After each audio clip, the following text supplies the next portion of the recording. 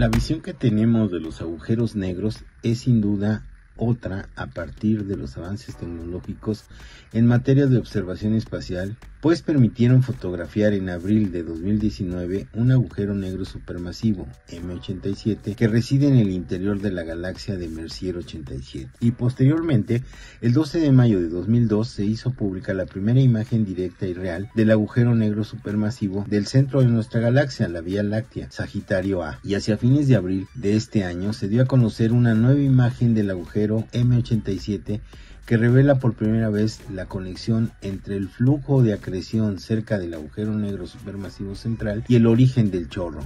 Sin duda, el hoyo negro supermasivo M87 es el más estudiado desde la Tierra, a unos 55 millones de años luz de nuestro planeta, de acuerdo con los investigadores del Event Horizon Telescope. Hoy tenemos una nueva información sobre este cuerpo estelar que describe por primera vez cómo la luz del borde del agujero negro supermasivo M87 gira en espiral a medida que escapa de la intensa gravedad del agujero negro, una característica conocida como polarización circular. La forma en que el campo eléctrico de la luz prefiere girar en el sentido de las agujas del reloj o en el sentido contrario a las agujas del reloj a medida que viaja transporta información sobre el campo magnético y los tipos de partículas de alta energía alrededor del agujero negro. El nuevo artículo publicado en Astrophysical Junior Letters respalda hallazgos anteriores del EHT que el campo magnético cerca del agujero negro es lo suficientemente fuerte como para impedir ocasionalmente que el agujero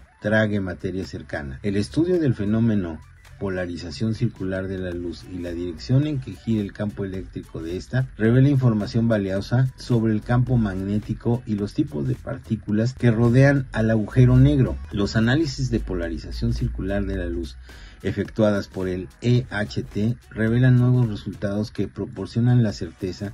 de que el campo magnético atraviesa el gas caliente que cae en el agujero negro. Estas observaciones sin precedente responden a interrogantes acerca de cómo los agujeros negros consumen materia y la expulsan en chorros más allá de sus galaxias anfitrionas. Este resultado